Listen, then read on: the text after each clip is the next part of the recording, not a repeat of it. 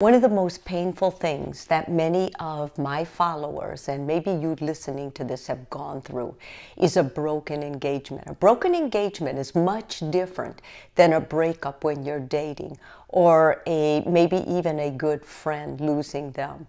A broken engagement means that the person you were most intimate with, the person who possibly knows you better than anybody else, who loves you more than anybody else has decided that they are not ready for a long term commitment with you.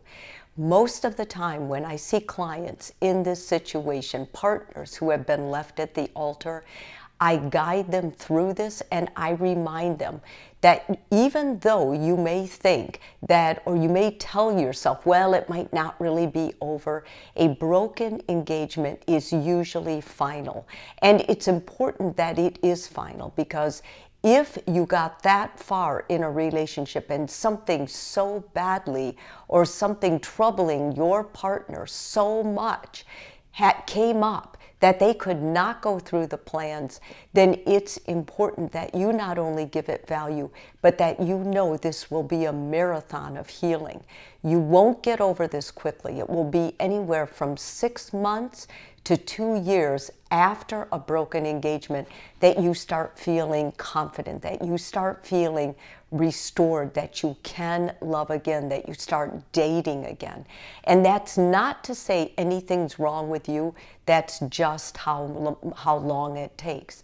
So I've got some healing steps that are going to help restore your hope if you're the person that your fiance broke up with. So let's start now saying goodbye. It's very important that you're direct and that you say goodbye. Often couples like to hug goodbye whatever it is, you need to confront it. You cannot do it via text or social media messaging. It's important that you're there in person for that final that final goodbye. If you live in different places, then I recommend you meet and you actually are physically in the same place so that you can say goodbye to this relationship. Number two, you have to share the news about the broken engagement, and this is painful. It's nice if the couple is so so um, honest about it that they both agree they're just not ready, that this was maybe not a well thought out plan, and they're able to break the engagement to people together. However, that rarely happens. So, sharing the news, it's important that you have your good friends, your family close. So, you start out with those closest to you, and then you can spread out to the other guests. Sometimes friends and family will say, I'll help, I want to help. I'll tell the relatives. And that takes a big load off your shoulders. You can communicate with the, all those people later, but what initially has to happen is you share those people in your inner circle, those closest to you, as honestly as you can, and be upfront. I'm going to need your support now. Number three, unplanning the wedding. This is going back to every venue that you had planned, talking to the vendor, seeing what you can do as far as, you know, refunding, as far as money spent. And all of this is part of the grieving process. Expect to cry during this. Vendors are used to this. You're not the first person this has happened to.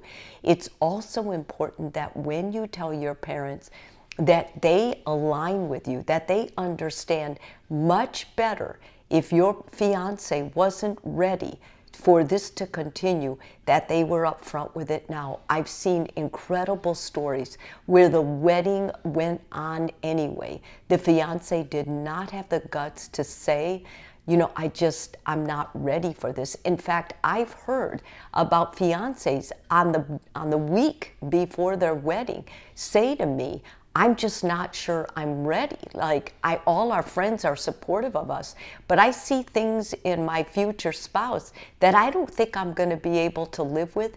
This is not a person that you you would want to end up married to. It obviously is lacking in transparency, and that's a big no-no if you're going to make a long committed life. So I think with unplanning the wedding, it's very important that as you grieve grieve all of that, you also save some space realizing that this had to happen before the marriage because the worst thing is to be with someone who doesn't love you the way they're going to they're going to need to love you to go the years. Number 4, facing the wedding day. This is a sacred day and I want you to count it as such. I want you to plan a trip or do something, plan an outing with your family. Do something to com- commemorate that day. That day will go down in your story forever, and you shouldn't hide it and you shouldn't avoid it. You should do something symbolic for you. For some people who were very faithful, they wanted to go to church that day just to be in a church. That's where their wedding was going to be. Others decide they're going to take a trip out of the country, away from everything, so they can grieve it in their own privacy. There is no right or wrong way to do this. It is important that you do it, though. Number five, find a counselor. A counselor is going to help you give that that clarity. They're going to help restore your self esteem, your confidence, which you're going to need, and they're going to help you find hope. I think the hopelessness and the situation, being rejected at that level, is the hardest thing. It's like a kick in the gut, and it's important that you have a therapist who's kind of watching your trajectory, seeing where you might fall into trouble, where you won't, because otherwise it's very easy to get stuck or trapped in the past, and that's not where you belong. Next, reclaiming your special places. I think going back to those places that you used to go with your fiance is very important. That place does not belong to you and your fiance, it belongs to you. This, the broken engagement is not defining you. It's a part of what happened in your life. It's part of your story. Brave that Take that. That's going to make you a stronger person. But by all means, don't avoid or become fearful of going back to your old haunts. Those places were symbolic to you. They can be symbolic to you without the, the fiance. The most important thing is you don't let it spook you. You don't let these places drive you away with bad memories. The sooner you confront them, the sooner you grieve them, the better you're going to do.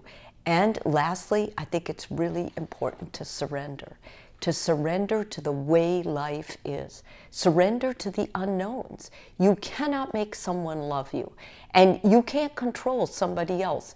If your fiance broke the engagement, whatever was going on in them was not okay. It was not able to be a good committed partner, to be a good husband or a good wife, to be there during the bad times. Maybe this was a person that liked the good times, but they really had no stamina for the rough times. And every marriage is going to have rough times. There will be times you look in the mirror and you go, I don't know if I can do it. You can do it.